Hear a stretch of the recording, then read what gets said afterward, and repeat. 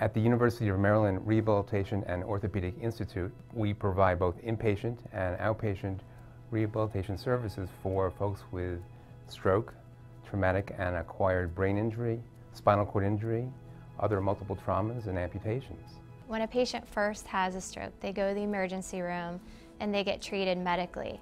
Then at that point, it's decided that they may not be able to go home right away, so they need to come here for rehabilitation services. The importance of having a dedicated unit with dedicated staff is that patients who have had a stroke have very specific needs.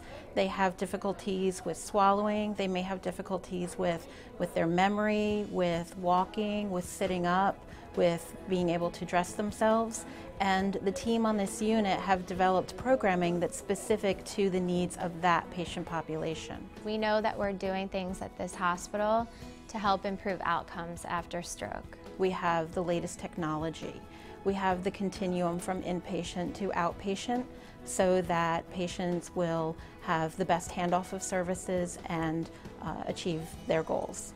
We have multiple services available in, within the unit, OT, PT, speech language pathology, and neuropsychology. From caring, experienced therapists, we provide one-to-one -one treatment, so the therapist is working directly with one patient at a time.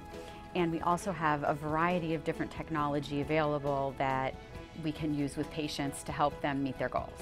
We have the ability and capability of educating patients right in the heart of our office so they can see why am I having a hard time? What are the specialty things that I need to do? And we have those services available here. As a team, we really work together to get to know the patient and get to know what they were doing before their stroke and what their life was like before their stroke what goals they want to achieve, and everything that we need to work on in order to get them back to doing the things that they were able to do before in some capacity. All of the equipment, the unit design is really designed specifically for individuals who have had a stroke.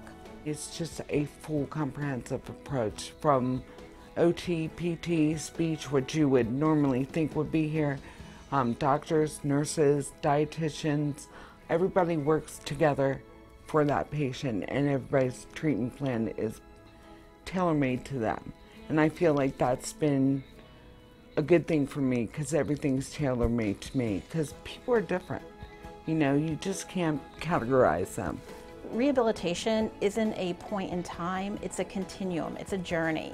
So it's important that people don't feel that their care ends at the time of discharge from the inpatient portion of their care that it continues well into outpatient services.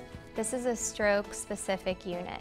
So all the therapists here, all the nurses here, the doctors here, and the other health professionals that are part of our team, they have years and years of stroke experience. So it's, it's what we know, it's what we do every day. I feel that gives us an advantage. Patients and families have a lot of options for where to go for rehabilitation services, but they're willing to travel longer because of the services that they're going to receive here at University of Maryland Rehabilitation and Orthopedic Institute. I couldn't walk, I couldn't talk, I came to University of Maryland Rehab and they got me walking again, talking again. They gave me back some of my independence my, my recovery will be full because I am here.